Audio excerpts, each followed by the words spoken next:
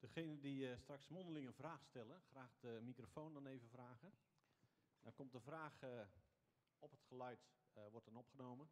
Zelf kom je niet in beeld, tenzij je hier gaat staan. Maar. Dus dan weet je dat. Je kunt gewoon de vraag stellen en dan ehm, even de microfoon afwachten. Zal ik eerst met wat papieren vragen beginnen? Dan is de kop eraf, hè? Kom gerust binnen. Nou, toch opmerkelijk veel mensen teruggekomen. Dat, eh, ja. Niet voldoende pijn gedaan. ik stond vanmorgen in eh, Amersfoort. Vond ik wel leuk. Mocht ik een lezing geven in de rijtuigenloods. Ik weet niet of je daar was geweest. Ik denk de een of ander groot eh, partycentrum. Maar ook hele leuke zaal. Maar dat was voormalige werkplaats van, van de spoorwegen. En daar stond ik in de zandstraalcabine. Zo heette dat. Vond ik wel een passende benaming om zo'n verhaal te houden. Een beetje zandstralen. Vraag 1. Hoe weet ik of mijn geest of Gods geest mij leidt in dit leven? Of ik wel of niet uit die genade leef. Mooie vraag. Hoe toets je dat nou? Hoe weet je dat? Hoe meet je dat? Ik vind hem ook mooi, omdat ik al heb uitgelegd, en hopelijk is dat duidelijk geworden.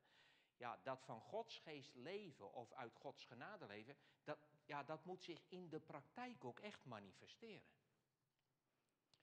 En, en, en als u dit, ik, ik hou graag dit plaatje voor tot nu toe.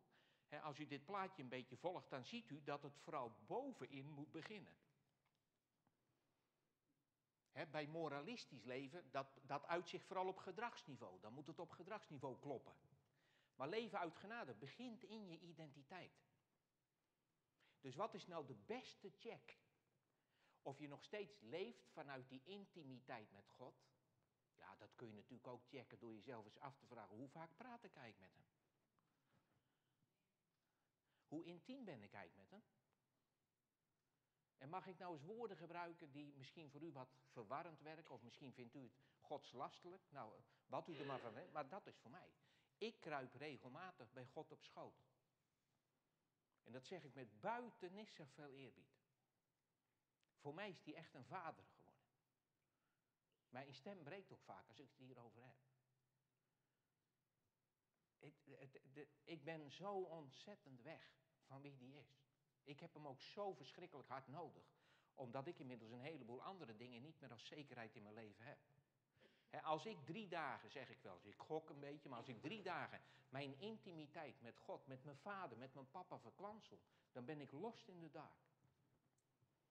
Ik heb mijn financiën niet op orde. Ik leef ook daarin voor een groot deel van genade. En dat maakt dat ik een heleboel mensen mag helpen die mij niet kunnen betalen. Maar dat hoef ik niet. En die ervaren dat ook als genade. Dus, dus dat, dat is een check. Maar wat nog veel mooier is, is om bij jezelf voortdurend een identiteitscheck te doen. En die heeft echt alles te maken met hoe voel ik me in het leven? Hoe gelukkig ben ik? En wat bepaalt mijn geluk dan? Hoe waardevol voel ik me? Wie bepaalt vandaag mijn zekerheid? Hoe diep ben ik me bewust dat God altijd bij me is, al moet ik door de zwaarste en droogste woestijn. Want let op, hè. God doet zelden iets aan je omstandigheden. Misschien een kleine tip voor je gebedsleven.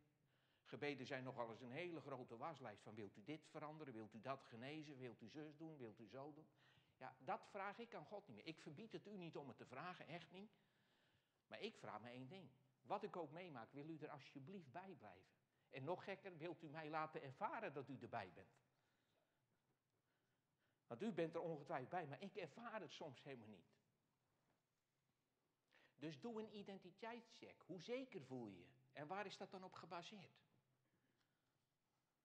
En natuurlijk kun je kijken, en dan zit je een beetje onderin. Zie je vruchten van de geest? Transformeert jouw persoonlijkheid? Sta je bekend als iemand die gegroeid is in zijn zelfbeheersing? Of sla je er nog steeds op? Ben je nederig? Nee, niet vanuit minderwaardigheid. Nee, nee. Nederig vanuit innerlijke vrijheid. Of moet je nog steeds winnen? Kun je onrecht verdragen? Kun je vergeven? Kun je het oordeel aan God overlaten? Of moet er nu recht gedaan worden? Vecht je door tot de laatste. Allemaal checks. En lees met die ogen het Nieuwe Testament. Ik hoop dat je daar vanavond ook misschien geholpen bent. Dat gebeurde bij mij bij Tim Keller. Ik heb daarna nooit meer het Nieuwe Testament op gedragsniveau kunnen lezen. Dat deed ik altijd wel, moralistisch als ik was. Ik lees het alleen nog maar op identiteitsniveau. Ja. Ja, ik ben zo benieuwd wat er nou is gebeurd op je 33 Och, wat is er gebeurd op mijn 33ste? ja. Nou ja, ik was dus vastgelopen in dat waar ik op vertrouwde. Dat werkte niet meer. Dat bleek er niet te zijn. En nogmaals, ik zei al, hè, dat wat ik jullie vanavond een beetje heb verteld, dat overkwam mij voor de eerste keer bij Tim Keller. Die hield een preek. En in die preek lacht hij dus uit dat wij allemaal op zoek zijn naar onze identiteit. Dat we daar ons succes ook vaak voor nodig hebben, onze carrière. En hij preekt in Manhattan, nou dat is één grote ja, vierkante kilometer van carrièrejagers. Dat we onze zekerheid in geld zoeken en in pensioenen en in je status. En zei hij, by the way, als je religieus bent, dan zoek je je zekerheid bij God vooral in je goede gedrag. En je kerklidmaatschap. En goed je best doen. En, en vinkjes achter die naam als je weer gaat voor recht en gerechtigheid. Als je goede doelen steunt, hè, een beetje de weldoener bent. Hij zegt, dan heb je de genade van God nog niet ontdekt. Nou, dat was de klap. En de jaren daarna ben ik nog vaak bij hem geweest, want ik reisde nog steeds veel voor een Amerikaans bedrijf. Ik kocht eh, meters cassettebandjes, die had je toen nog, met al zijn preken. Ik vloog veel. En dus luisterde naar die bandjes. En vier jaar daarna heeft het nog een diepere klap gekregen. Want ik kreeg steeds meer moeite met het leven wat ik leidde. Ik merkte dat ik mijn betekenis en zekerheid toch uit heel veel afgodjes haalde, inclusief mijn religie. En toen kreeg ik vier jaar daarna, we, we waren allebei 37, Jook en ik, kregen tegen alle natuurwetten in nog een vijfde kindje. En ik zat in Kuala Lumpur, in Maleisië, toen ik naar huis belde en Joke de test had gedaan. En zei dat hij positief was. En dat kon eigenlijk helemaal niet. Maar het was wel zo. En in die week Dan ben je al vier jaar, is God met je bezig, met die genade. En kom nou los, vertrouw mij nou een keer. Toen ben ik, toen ben ik op de tekst gestuurd. Ik was zo wanhopig die week dat ik mijn bijbeltje... Ik had een bijbeltje bij me, dat ik honderden keer omhoog gegooid. En dan kijken waar die open viel. Zo wanhopig was ik. Ik was nog altijd blij dat hij niet bij de tekst van Judas open viel. Hij ging heen en verhing zich. Maar dat gevoel had ik af en toe wel. Maar een tekst die bleef hangen was Hebreeën 13, vers 5 en 6. En op vrijdag zou ik weer naar huis vliegen. Toen heb ik s'morgens uit de douche voor mijn paarspiegel gestaan op de hotelkamer. Toen heb ik die tekst weer gelezen, hardop. Ik kan hem uit mijn hoofd inmiddels. Dat is deze tekst. Laat je wijze van doen onbaatzuchtig zijn. Dus doe niets voor de baat. Wees tevreden met wat je hebt. Want ik heb gezegd, ik zal je nooit verlaten, ik zal je nooit begeven. Dus kunnen wij vol vertrouwen zeggen, de Heer is mijn helper, ik heb niets te vrezen. Wat zouden mensen mij kunnen doen? En ik heb mezelf aangekeken en ik heb gezegd, Arie de Rover, nou kies je. Of je gaat dit geloven en zo leven, of je stopt met dat hele geloof. Maar niet meer van twee walletjes. En zo ben ik naar huis gevlogen en ik heb tegen Joker gezegd, ik ga stoppen met mijn carrière. Nou, je kunt je voorstellen, dat kun je aan niemand uitleggen, dat een vijfde kindopkomst. En wij hadden ook een levensstandaard aangepast aan mijn inkomen. We woonden net een half jaar in een huis. Wat helemaal paste bij die levensstijl en bij ons gezin. En ik ging vertellen, ik ga stoppen met mijn carrière en ik zou niet weten wat ik moet doen. Nou, je wordt voor gek verklaard. Toen is het verguizen in mijn gemeente ook een beetje begonnen. Ja. En ik zei tegen onze oudste zoon, André heet hij, die vond, die vond het geweldig waar we woonden, oudste zoon. Die heeft toch sowieso natuurlijk wat identificatie. En toen zei ik tegen André, André, eh, ja, je vindt het fijn hè, waar we wonen. Ja, geweldig. Ik zeg, het kan zijn dat we over een paar maanden hier niet meer wonen. Hoezo niet, zei hij. Ik zei, nou, je weet het, ik ga stoppen. En ik zou niet weten wat ik moet doen. Pap, dat komt goed, zei hij. En we wonen er nog. Ja, ja dat is een beetje gebeurd. Of een beetje. Ik ben verbijsterd. Hoeveel angst je tegenkomt in jezelf, hoeveel onzekerheid. En pas met terugwerkende kracht kan je zeggen, God was er toch bij. Terugwerkende kracht. Nog steeds kan ik geen meter voor me uitkijken, zeg ik wel eens. Zo wil ik ook. Ik wil leven bij de dag. Maar als je terugkijkt, denk je, krijg nou wat jong. Ik zie een pad. Niks was voor niks.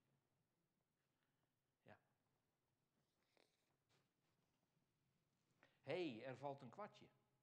Ik besef dat ik ook nog identiteit en bevestiging uit mijn leefwereld haal. Hoe kan ik dat veranderen naast gebed? Wat is uw advies?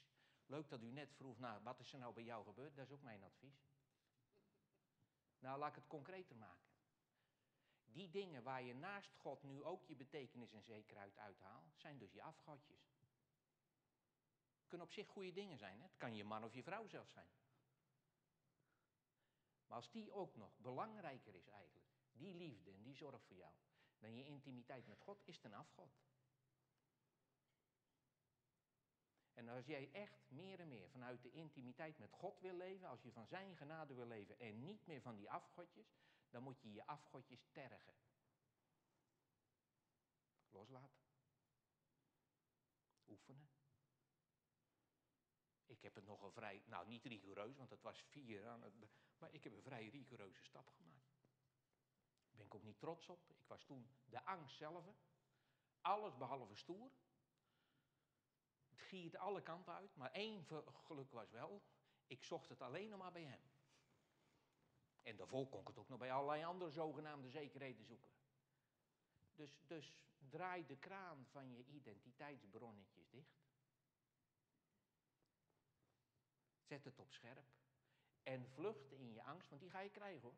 Onzekerheid, vlucht alleen maar naar God. En claim, claim bij Hem. Ik wil dat u me nu echt die zekerheid geeft. Ik wil het ervaren dat u me troost. Pap, ik wil ervaren dat u erbij bent. U hebt het toch beloofd. Ik heb zo vaak Hebreeën 13 vers 5 gezegd, huilend voor mijn bed geclaimd. Mijn bankrekening ging zo. En dan nog zo weinig over hebben dat je zeker weet, nu moeten we ons huis verkopen. Nu moeten we ons... En dan, ik heb mijn kostwinnerschap nooit aan de dijk gezet, maar dan claimde ik het bij God. U hebt het beloofd. En ik kan u echt zweren, we hebben een, we hebben een gezegde in ons gezin ontwikkeld in de afgelopen twintig jaar. Je zou toch zweren dat die echt bestaat? En dan lachten we net als u en zeiden maar we gaan natuurlijk niet echt geloven. Kijk, hij kan zijn betrouwbaarheid natuurlijk alleen maar laten zien als hij het aan u kwijt kan. Ja, als je liever je contract of je, je, je, je, je vaste salaris als dat, en je pensioen, als dat je zegt, ja prima. Ja, niet prima. Want elk afgodje is onbarmhartig hoor. Daar moet u wat voor doen. En ik zeg ook wel eens, hè, wij hebben de gewoonte, denk ik, in. Ik weet niet hoe het in deze gemeente is hoor. Maar als u bij zonde nog steeds denkt aan verkeerde dingen doen. Hè, wij hebben vaak nog het ritueel, ik verbied het u echt niet. Ik wil er ook niet schamper over doen. Maar heel veel mensen gaan nog met hun zonde naar het kruis. Hun verkeerde dingen, die moet je dan bij het kruis neerleggen. En opnieuw, ik wil er echt niet over schamperen, maar het is vrij nutteloos om dat te doen. Het kruis is er niet meer. Dat is een historisch feit. Het is voorbij. De Heer Jezus is. Het is een prachtig symbool hoor. Maar het is er niet meer. Dus u gaat naar een plek die er niet meer is. En de Heer Jezus is er al helemaal niet meer. Ja? En u gaat er iets brengen wat totaal geen enkel effect meer heeft. Voor alle zonde is al betaald. Zonde brengt ook geen scheiding tussen u en God. Als u bij zonde tenminste nog denkt aan verkeerde dingen doen. Er blijft straks niemand buiten, om het zo maar te zeggen, omdat hij verkeerde dingen heeft gedaan. Nee, je wil alleen maar binnenkomen als God je identiteit mag. Weet u wat tussen God en u in staat? Uw afgodjes. Dat brengt scheiding tussen God en u, want daardoor kan die geen God voor u zijn.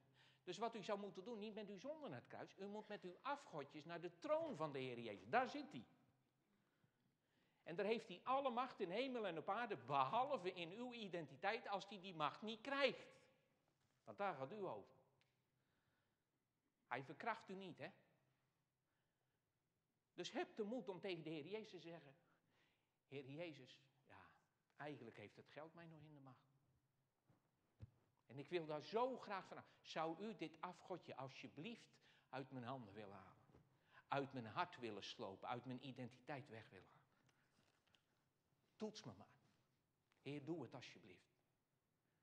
Heer Jezus, mijn status is nog zo belangrijk hier op aarde. Wilt u hem alsjeblieft van me afnemen?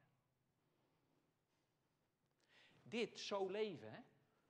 Dit noem ik capitulerend leven.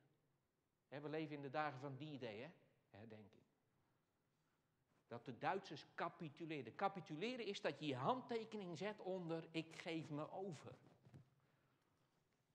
Dit moet u niet één keer doen, daarom heb ik wat spijt van leven na de genadeklap. Dat lijkt een beetje alsof het één klap is. Nee, nee. Elke dag opnieuw, overgave. Want dat ego van u, dat groeit elke nacht weer aan, dat kreng. De mijne tenminste wel. Dus de dag daarna moet je weer zeggen: Heer, ik wil alleen van u leven. En van niks en niemand anders. Zelfs niet van die schat van een vrouw naast me. Die je trouwens ook alleen maar kan liefhebben als hij jou meer lief heeft. Een klein zijpadje, maar onze liefde is heel vaak: ik hou van jou omdat jij ook van mij houdt. Er is geen houden van. Een christelijk huwelijk is niet geven en nemen. Een christelijk huwelijk is ontvangen en doorgeven. Als u mij zou uitnodigen op huwelijksdag om te preken, moet u niet doen, want ik verpest uw hele huwelijksdag. Want ik ga preken dat u waarschijnlijk ja gaat zeggen tegen uw grootste afgod. En er hangt zo'n grote romantische roze wolk omheen. Maar het is echt waar. Ik ga u verleiden op uw huwelijksdag tot overspel. Hij moet belangrijker worden dan degene die nu naast je zit. Zo niet, dan is het niet eens een christelijk huwelijk. Ja, waar is nou maar weggegaan in de pauze? Genoeg. Hoe kan ik als vader het geloof zo voorleven dat mijn kinderen niet mij, maar Jezus zelf gaan volgen? Wat een ontroerend mooie vraag. Dit geldt trouwens ook voor moeders. Wat een ontroerend mooie vraag. Ten eerste suggereert de vraag al iets heel corrects. Kinderen zullen in hun geloof heel veel hebben aan de inspiratie uit wat ze u zien doen. Hebt u die intimiteit dan? Of hebt u een religiositeit? Dat is hetzelfde als, uh, uh, dat had ik vanmorgen ook op de, op de leerkrachten, of de leerkrachtendag vandaag. Hoe leren kinderen wat een huwelijk is? Wat een huwelijk is. Hoeveel huwelijksboekjes heb u met uw kinderen doorgenomen? Hoeveel huwelijksliedjes hebt u ze uit het hoofd laten leren? Hoeveel training hebt u ze gegeven met een ander jongetje of meisje om alvast te oefenen? Geen enkele ouder heeft dit gedaan. Moet je nagaan, het huwelijk is je allerbelangrijkste relatie hier op aarde. Hè? En we doen er geen moer aan. Dat is natuurlijk niet waar. Want waarom weten de kinderen hoe een huwelijk in elkaar zit? Door wat ze bij u ervaren en zien. De, de, de mate waarin u dat hebt voorgedaan, hebben zij overgenomen. Dat zie je juist als het destructief is. Hè? Heel veel kinderen van gescheiden ouders, ik heb er geen oordeel over, hebben vaak zelf ook moeite om langdurige relaties straks aan te gaan. U bent een inspirerend voorbeeld in uw liefdesrelaties voor uw kinderen. Nou, deze vraag suggereert terecht dat dat voor vader en moederschap op geloofsgebied eigenlijk hetzelfde is. Ik overweeg al jaren en ik ben er nu wat fanatieker mee begonnen om een vervolgboekje op dit boekje te schrijven. En dat gaat hierover. Ik heb buitengewoon veel zorgen over geloofsonderwijs aan kinderen. Ik ga er nu niet dieper op in. Daar hebben we de hele dag bij stilgestaan. Want kinderen worden heel vaak moralistisch. Door de oud-testamentische verhalen waar ze zich identificeren met de helden. Ja, maar dat is de bedoeling. Die helden die verwijzen naar de Heer Jezus. Niet naar jou. Jij moet je Goliaths niet verslaan. Dat heeft de Heer Jezus voor jou gedaan. Voor een menselijk ego is het trouwens niet fijner om een soort uh, David te zijn die Goliath zijn kop afhakt.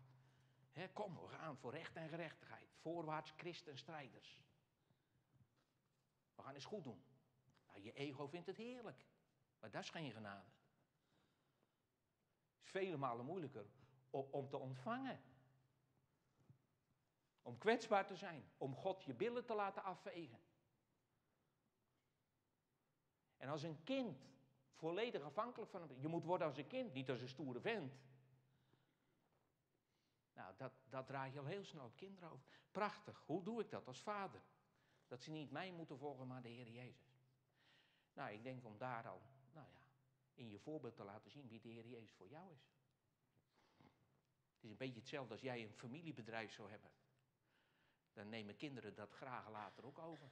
Ze hebben gezien hoeveel waarde het voor u heeft. Overigens vette afgoderij, maar dan ziet u hoe identificatie werkt. Maar zo werkt het dus ook met God. Dat wat ik in mijn gemeente heb meegemaakt, heeft een enorme impact op mijn kinderen gehad. Waardoor ze ook letterlijk in één klap niet meer religieus wilden zijn. Fantastisch. Mijn kinderen zijn ook nagenoeg allemaal, hebben de kerk verlaten. En daar ben ik alleen maar dankbaar voor. En ik heb gezegd, kom alsjeblieft terug als je de Heer Jezus ontmoet. Dan kun je weer veilig lid worden.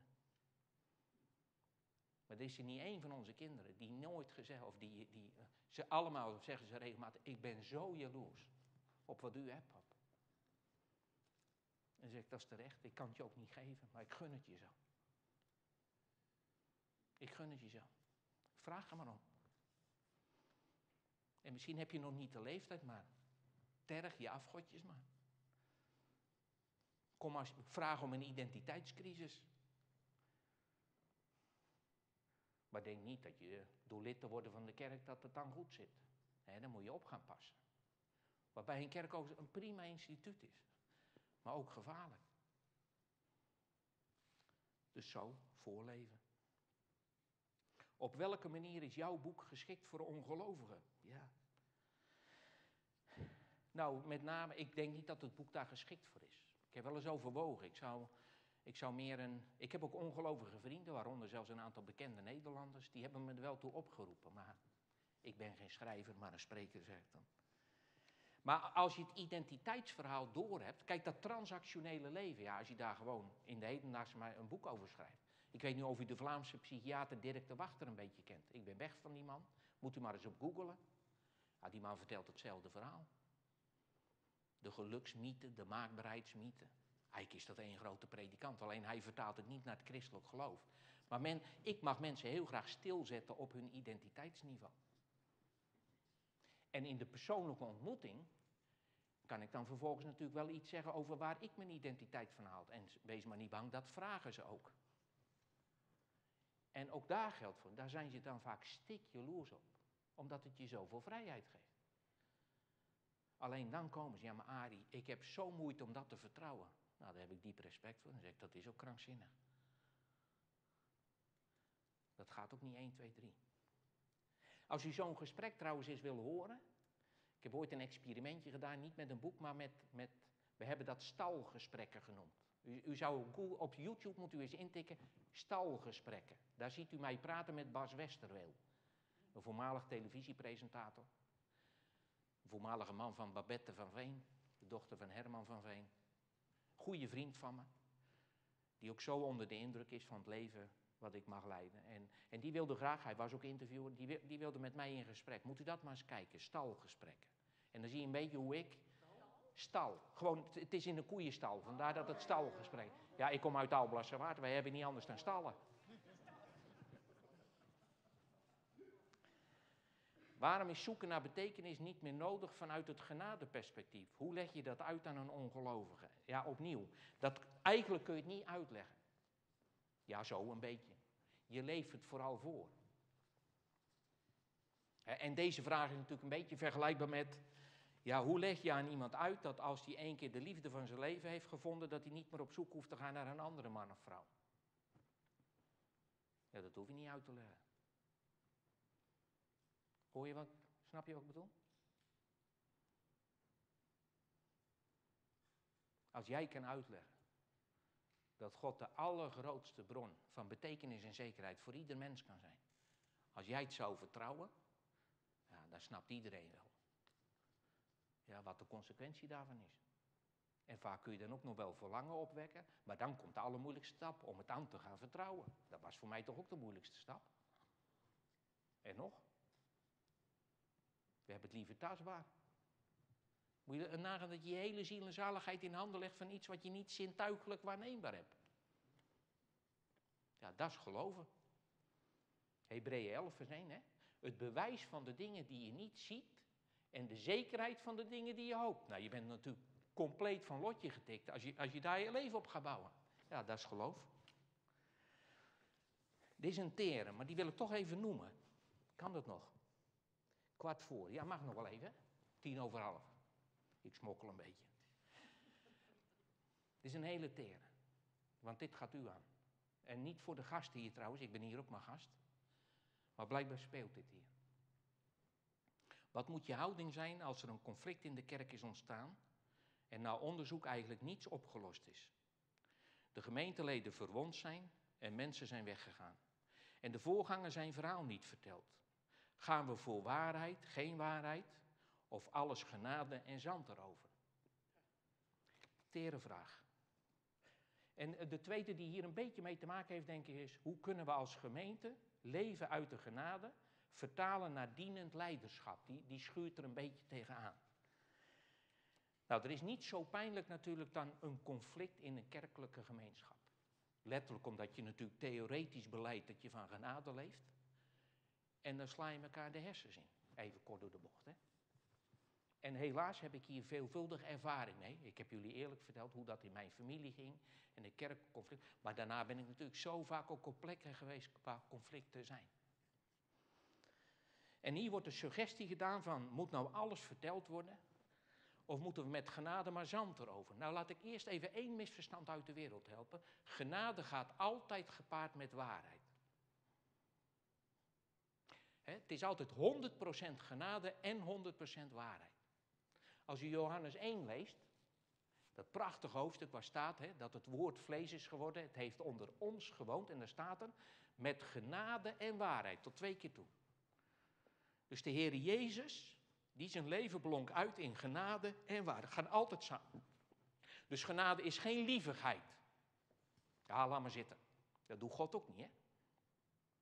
Vraag maar aan de Heer Jezus.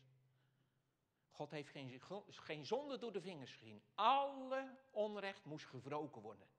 En daarom moest de Heer Jezus zo verschrikkelijk diep lijden. Dat is de waarheid van het leven van de Heer Jezus. Dat is de waarheid van jou en mijn zonde. Dat we zo nodig God willen zijn. Dus ga nooit zeggen, ah, laat maar zitten.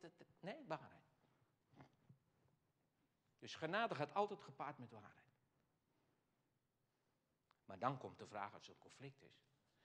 Kan de gemeente het überhaupt aan om de waarheid te horen?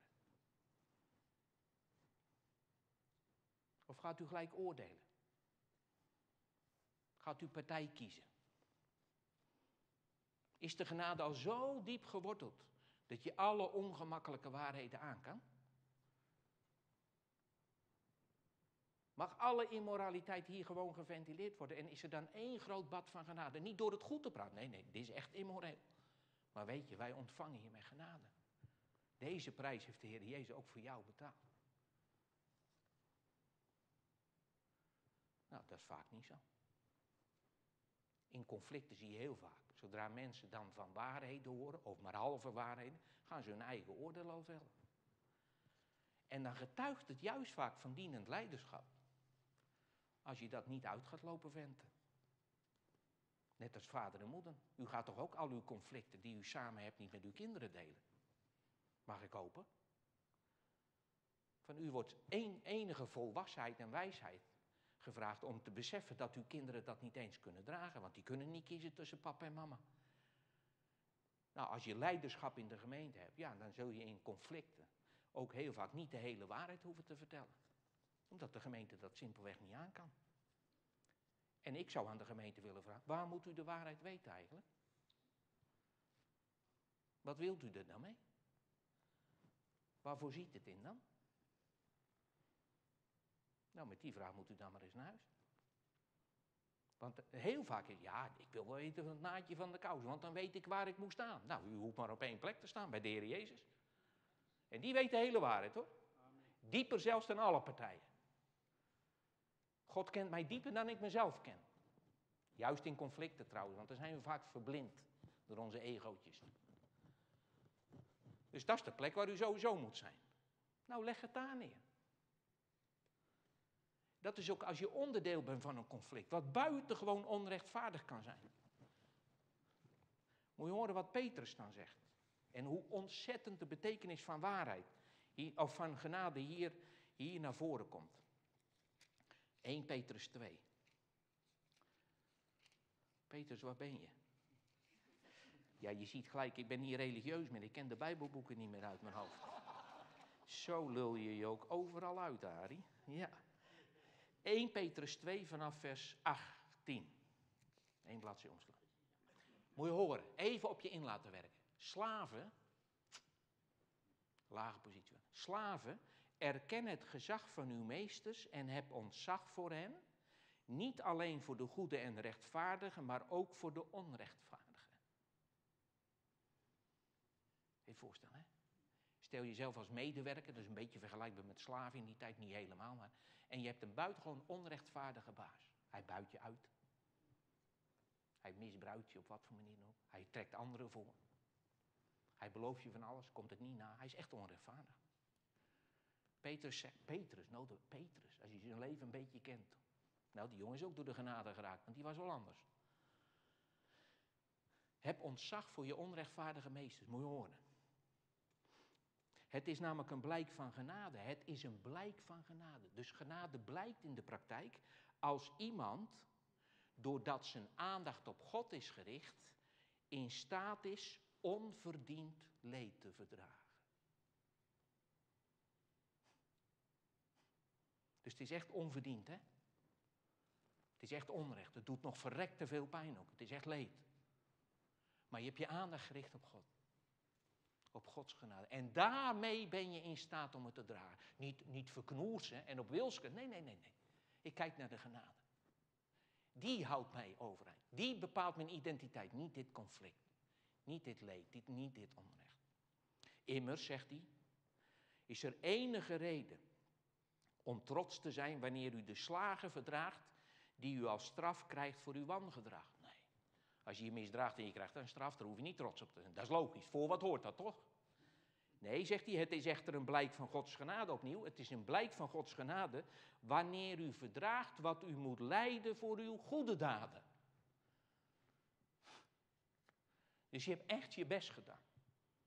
Het was ook echt goed. En het wordt afgemaaid. Verguist.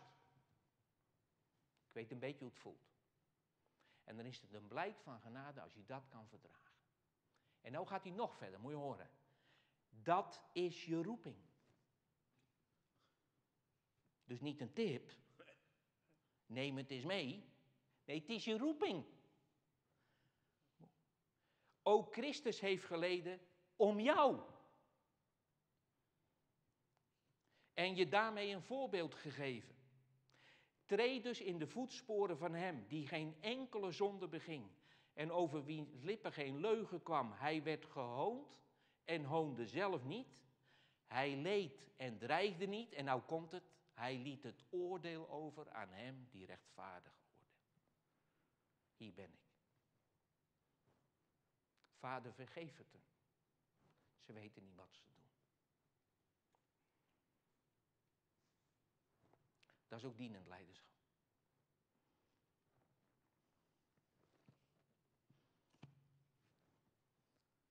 Wat wens ik dat jullie hier toe als dit speelt hier? Dat er geen competitie is wie heeft die gelijk en wie gaat winnen. Nee, nee. Wie leeft die rijk van genade? Dat is het. En als je van genade leeft, hoef je nooit meer te winnen. Je hebt al gewonnen. Door Hem en door Hem alleen. Niet meer op eigen kracht. En dan ben je zo verschrikkelijk bang en verdrietig om dat kwijt te raken. Dat, joh. Neem goed en bloed mij af.